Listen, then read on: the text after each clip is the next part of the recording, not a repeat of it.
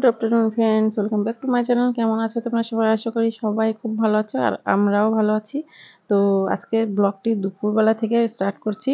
তো রান্নাঘরে চলে এসেছি আর সকালে রান্না সকালের বাসি কাজ সম্পূর্ণ সারা হয়ে গেছে। তো এখন দেখো এইদিকে মুগ ডাল বসিয়েছি, মাছের মুড়ো দিয়ে মুগ ডাল হবে আর হবে হচ্ছে মাছের ঝোল আর ডালের সঙ্গে কাঁকড় ভাজি। অনেকটা দেরি হয়ে গেছে, অনেকটা বেলা হয়ে গেছে, এটা হচ্ছে আমার প্রতিদিনের রুটিন কী বলতো? প্রতিদিন এখন মানে এমনটাই রুটিন হয়ে গেছে, প্রতিদিন ওই দেরি করে বাজার নিয়ে আসবে, নিয়ে আসতে, বাজার নিয়ে আসতে নিয়ে আসতে ওই বেলা একটা বাজিয়ে দেবে। তো সাড়ে বারোটার সময় বাজার নিয়ে এসেছে। তারপরে তো বাজার নিয়ে আসলে তো হবে না, সাড়ে বারোটার সময় বাজার নিয়ে আসার পরে তো আরও অনেক কাজ থাকে, তাই না? যেহেতু এতগুলো মাছ নিয়ে এসেছে, সেই মাছটা ধোয়া, সবজি কাটা তারপরে রান্না করা মানে অনেকটাই দেরি হয়ে যায়, বুঝতেই পারছ। মানে বাজার দেরি মানে সব কিছুতেই দেরি হয়ে যায়। সম্পূর্ণ মানে সব কাজেরই মানে দেরি হয়ে যায়।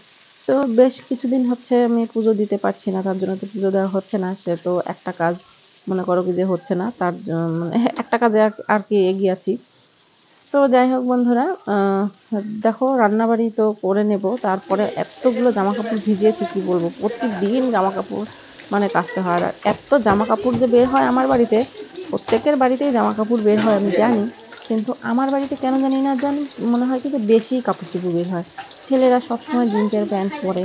আর যেটা সকালবেলা পরে যেহেতু মার্কেটে যাচ্ছে, আর যে যে কাজ মানে যে প্যান্টটা পরে ছেলে মার্কেট করছে, সেই প্যান্ট মানে সেই একই প্যান্ট পরে আবার ওই দিয়ে ওর কাজে ও চলে যায়। তো সেই কাজগুলো করার পরে এসে যে মানে প্রতিদিনই মনে করো যে প্রতিদিনেরটা প্রতিদিনই ধুতে হয়। তারপরে মানে সবার, আমরা বাড়িতে যেহেতু ছয়জন মানুষ, তো ছয়জনের জামা কাপড় কিন্তু প্রতিদিনই ধুতে হয়। এতগুলো করে জামা কাপড় বের হয়, আমি মানে প্রচণ্ড হাঁপিয়ে যাই। আর রিয়াকে আমি এখন সেরকম ভারী জিনিস কিন্তু ধুতে দিচ্ছি না। কেননা ও, ওর এই অবস্থাতে আমার মনে হয় মানে আমি যেহেতু আমিও একদিনকালে মা হয়েছিলাম, তো সেই জন্যে আমি এই কষ্টটাকে আমি না ভালোভাবে বুঝি। জানি না কার সঙ্গে কি হয়েছে, না হয়েছে, আমি সেটা বলছি না। কিন্তু আমি এই কষ্টটা না, যেহেতু আমার কাছে কেউ ছিল না, যখন আমি মানে আমার বেবি হয়ে গর্ভে ছিল আমার, তখন আমি এই জিনিসগুলো না আমি খুব খুব ফিল করেছি। মানে যেহেতু আমার কাছে আমার মা ছিল না, শাশুড়ি ছিল না, তার জন্য আমি খুব কষ্ট মানে খুব কষ্ট হতো। তার জন্য বুঝতে পারি যে ভারী জামা কাপড় কাচাটা খুব কষ্ট। তার জন্য ওকে আমি দিই না। এই ভারী জামা কাপড়গুলো আমি ওকে দিই না কাচতে কোনো কোনো সময় মানে মনে করো যে কোনো কোনো সময় হচ্ছে ও হালকা পাতলা মানে শার্টগুলো ধুয়ে দেয়। হয়তো মানে গামছাগুলো, তারপরে হালকা শার্টগুলো এগুলো ধুয়ে দেয়। কিন্তু ভারী বেড কভার, জিন্সের প্যান্ট, তারপরে মশারি পর্দা, এই হাবিজাবি অনেক জিনিস থাকে। সেগুলো আমি ওকে দিই না।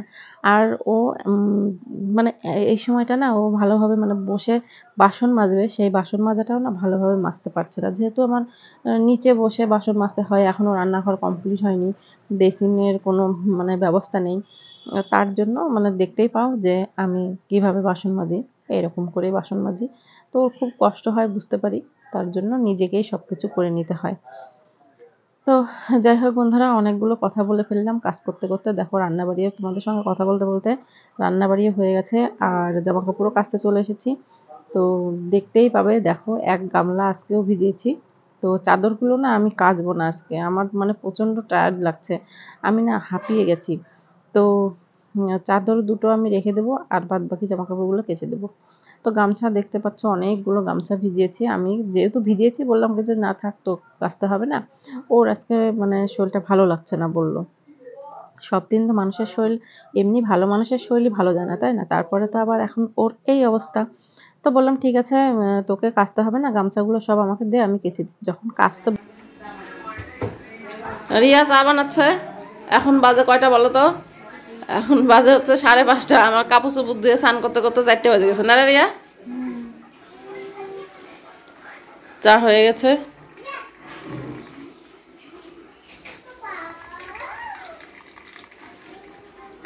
এটা কে রে? এটা কে? হ্যাঁ? হিয়ারানি? তোমার পড়া হয়ে গেছে? তো চলো ঘরে চলো। এ।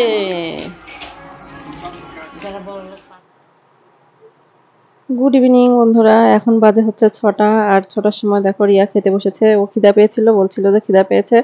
আর হাবি দাবি খেলে যেহেতু গ্যাস হয়ে যাচ্ছে, বেশ কিছুদিন হলো ওর গ্যাসের প্রবলেম হচ্ছে। তো বললাম কি যে অন্য কিছু খেতে হবে না, ভাত আছে, ভাতই খেয়ে না। যেহেতু একটার দিকে ভাত খেয়েছিল, ওই জন্য খিদা পেয়ে গেছে, একটু তাড়াতাড়ি খাওয়া হয়ে গেছিল।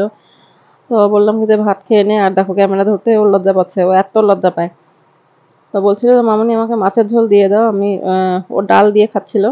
তো কি কি রান্না হয়েছে তোমাদের সঙ্গে তো শেয়ার করেছি। তো মাছের ঝোল দিয়ে দিই, আর আজকে কাজ কাম যেটুকু করেছি সেটুকু তোমাদের সঙ্গে শেয়ার করেছি, আর বেশি কিছু শেয়ার করলাম না। তো সংসারে যেটুকু কাজ থাকে সেটুকু তোমাদের সঙ্গে শেয়ার করার চেষ্টা করি। তো বন্ধুরা, আজকের ব্লগটা এই পর্যন্ত থাকছে। তোমরা যারা যারা এখনও আমার চ্যানেলটি সাবস্ক্রাইব করনি, তো চট জলদি সাবস্ক্রাইব করে দিও বন্ধুরা, আর শেয়ার করো। লাইক কিন্তু অবশ্যই করো, ঠিক আছে বন্ধুরা? তো সবাই ভালো থেকো, সুস্থ থেকো, আর নেক্সট ব্লগে আবার দেখা হচ্ছে। তো ততক্ষণে তোমরা ভালো থেকো, টাটা বাই বাই